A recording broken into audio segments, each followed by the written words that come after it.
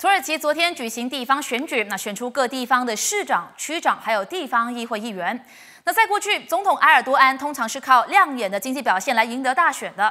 然而呢，在经济危机、然后货币贬值、通货膨胀以及食物价格飙涨的情况下，他所属的正义与发展党啊，在几个主要城市的市长选战中陷入了困战。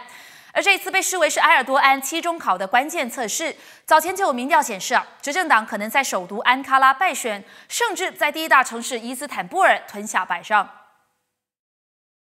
被视为是土耳其民众对总统埃尔多安信心考验的地方选举，昨天已经拉下帷幕。这场多达五千七百万名的选民参与投票，在争议不断的选战中，非官方成绩显示，在首都安卡拉的选战中，反对派共和人民党的候选人得票过半领先，而共和人民党候选人也出面声称，他们已经取得了首都安卡拉的控制权。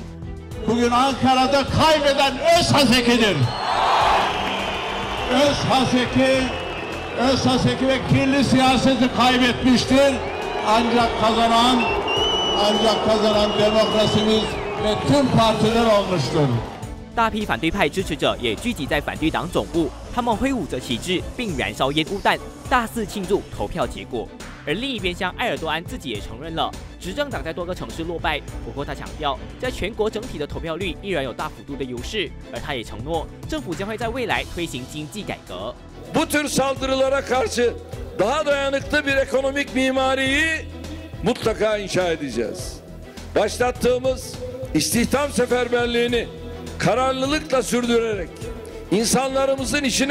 埃尔多安执政超过十六年，但是因为当地在近期饱受经济问题的困扰，而影响民众对他的支持，因此他才特意提到，政府将会在选举之后主打经济牌，以挽回民心。